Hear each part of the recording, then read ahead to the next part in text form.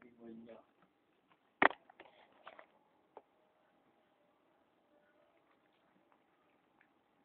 Again, here, no?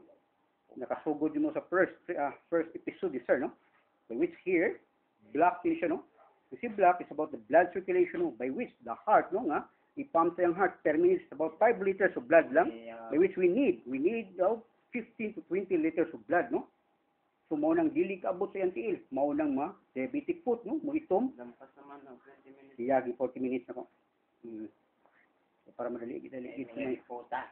So here, no, again, the massage wiset, no, I'm helping his heart na makaabot diri og supply, no.